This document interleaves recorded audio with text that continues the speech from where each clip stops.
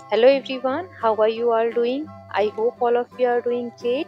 सो आज के वीडियो में हम क्लास टू सारंगी पाठ्य पुस्तक के पाठ तीन माला की चांदी की पायल इस पाठ की वर्कशीट को सॉल्व करेंगे।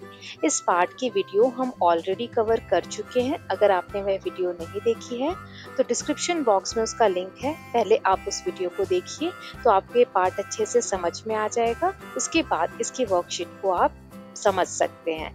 तो चलिए शुरू करते हैं इस पार्ट के वर्कशीट या अभ्यास को। सो पहले भाग में हमें बातचीत के लिए कुछ प्रश्न दिए गए हैं। एक एक करके इन सभी प्रश्नों को देखते हैं। तो पहला प्रश्न है, माला सभी को क्यों डराती होगी? इसका उत्तर आपको अपने हिसाब से देना है। मैंने इसका उत्तर दिया है, माला को सबको डराने में आनंद आता होगा, इसीलिए माला सभी को डराती होगी। उसको पायल की आवाज़ करके, शोर करके सबको डरा के अच्छा लगता होगा। अगला प्रश्न है, माला से सभी क्यों डर जाते होंगे? माला जब डराती है तो सभी उससे क्यों डर जाते होंगे? तो इसका उत्तर मैंने लिखा है, माला अचानक से पायल की आवाज़ करती है और ज़ोर से शोर मचाती है। इसीलिए माला से सभी डर जाते होंगे, क्योंकि अचानक से कोई आवाज़ आए तो हम डर जाते हैं। ओके? आपको अपना उत्तर बताना है कि आपको क्यों लगता है कि माला से सभी डर जाते होंगे? अगला प्रश्न देख लेते हैं। पायल उतारने के अतिरिक्त माला और क्या कर सकती थी? जैसा कि हमने पाठ में देखा था कि माला जब पायल पहन लेती है तो उससे कोई नहीं डरता है। सबको पता चल जाता है कि माला आ रही है। ठीक? तो फिर माला ने पायल ही उतार कर रख दी, क्योंकि उससे कोई डर नहीं रहा था। तो पायल उतारने के अतिरिक्त अतिरिक्त मतलब अलावा, पायल उतारने के अलावा और माला क्या कर सकती थी? तो इसका उत्तर मैंने लिखा है पायल को उतारने के अतिरिक्त माला पायल के छोटे छोटे घुंघरुओं को निकाल सकती थी, जिससे कि चलने पर आवाज़ नहीं हो पाती। जैसा कि हमने देखा था पाठ में कि पायल में छोटे छोटे घुंघरू हैं, जो चलने पर आवाज़ करते हैं। अगर माला पायल को निकालने की बजाय उन घुंघरुओं को निकाल देती तो पायल चलते वक्त आवाज़ नहीं करती और माला पायल को पहन सकती थी। तो ये मेरा उत्तर है। आप बताइए कि आप क्या सोचते हैं? अगला प्रश्न देख लेते हैं। माँ ने माला को पायल क्यों दी होगी?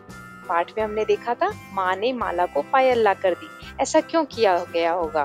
तो उत्तर है, माँ ने माला को पायल इसलिए दी होगी कि जब माला चले तो पायल की आवाज़ से सबको पता चल जाए कि वह आ रही है और वह किसी को डरा ना पाए। जैसा कि हमने देखा था, माला सबको डराती थी तो माँ ने इसीलिए पायल दी थी कि जब वह चलेगी तो आवाज़ होने पर सबको पता चल जाएगा कि माला आ रही है और उससे कोई डरेगा नहीं। तो इसके साथ हमने बातचीत के लिए सभी प्रश्नों को हल कर लिया है। अब हम अगले भाग को देखते हैं। यहाँ पर दिया गया है लिखिए और इसमें कुछ प्रश्न है एक एक करके हम इन सभी प्रश्नों को देख लेते हैं। तो पहला प्रश्न है, माला की माँ ने उसे क्या दिया? तो इसका उत्तर यहाँ हमें दिया हुआ है, माला की माँ ने उसे डैश दी। अब माला की माँ ने उसे क्या दिया? पायल। तो हम यहाँ क्या लिख देंगे? पायल। पहला प्रश्न हो गया, अगला देख लेते हैं। अगला प्रश्न है, माला ने पायल क्यों उतार दी? यहाँ पर हमें चार वाक्य दिए गए हैं। हमें इनमें से सही उत्तर चुनना है कि माला ने आखिर पायल क्यों उतार दी थी? पहला है, पायल माला को चुभ रही थी, इसलिए माला ने पायल उतार दी।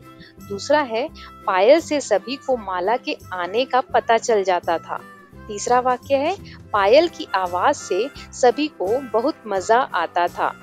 चौथा वाक्य है, एक पायल खो गई थी और बस एक ही पायल रह गई थी, इसलिए माला ने पायल को उतार दिया। तो इसका सही उत्तर है, दूसरा वाक्य, कि पायल से सभी को माला के आने का पता चल जाता था, इसीलिए माला ने पायल को उतार दिया था। बाकी के सभी जो वाक्य हैं, वह सही उत्तर नहीं है तो यहाँ हम सही का चिन्ह लगा देंगे। अगला देखते हैं। इन ध्वनियों को सुनकर उन्हें शब्दों में लिखने का प्रयास कीजिए। अब हमें यहाँ कुछ ध्वनिया दी गई हैं। मैं एक एक करके सभी ध्वनियों को यहाँ पर आपको सुनाऊँगी। आपको पहचानना है कि ये ध्वनि की कौन सी आवाज़ है और फिर उसे हमें लिखना है। तो सबसे पहले हमें यहाँ दी गई है घंटी की ध्वनि। जब घंटी बजती है तो उसकी ध्वनि कैसी आती है? चलिए सुनते हैं। आई होप आप सबने सुन लिया होगा। तो इसकी आवाज़ कैसी आई? मुझे तो इसकी आवाज़ ट न, टन। टन ऐसी आवाज़ लगी, आपको बताना है आपको क्या आवाज़ सुनाई दी। अब हम अगला देख लेते हैं, यहाँ पर है पायल की ध्वनि। जब हम चलते हैं तो पायल की कैसी ध्वनि आती है? चलिए सुनते हैं।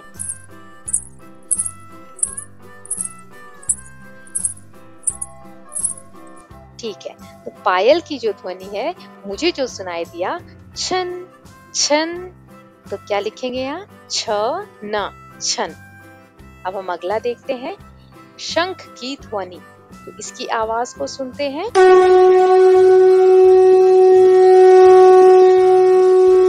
तो शंख की ध्वनि जो मुझे सुनाई दी, उसमें है कू। तो हम यहाँ क्या लिखेंगे? कू। ओके, अब नेक्स्ट देख लेते हैं, डमरू की ध्वनि। चलिए सुनते हैं। डमरू की ध्वनि मुझे सुनाई दी। डम डम डम डम। तो हम यहाँ क्या लिखेंगे?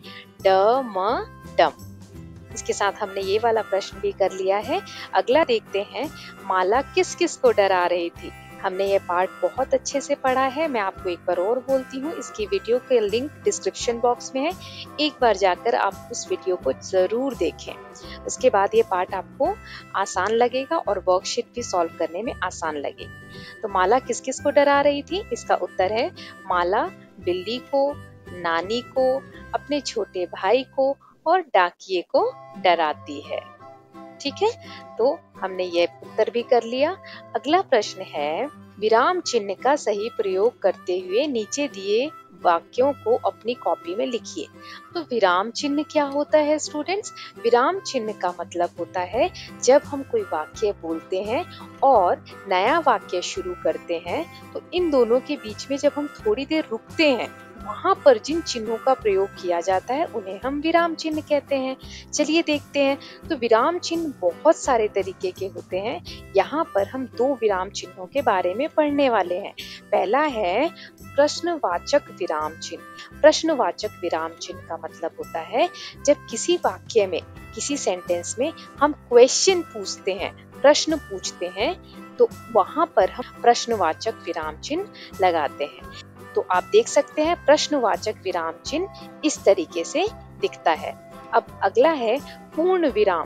पूर्ण मतलब कंप्लीट हमने कोई वाक्य कंप्लीट कर लिया है, कोई सेंटेंस कंप्लीट कर लिया है उसके बाद जो चिन्ह लगाया जाता है, उसको हम पूर्ण विराम कहते हैं। और वह कैसा दिखता है तो वह ऐसा दिखता है। ठीक है?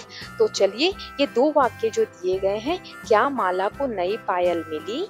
और दूसरा है, माला पायल पहनकर पूरे घर में घूमने लगी। तो हम इसको कैसे करेंगे? देखते हैं। क्या माला को नई पायल मिली?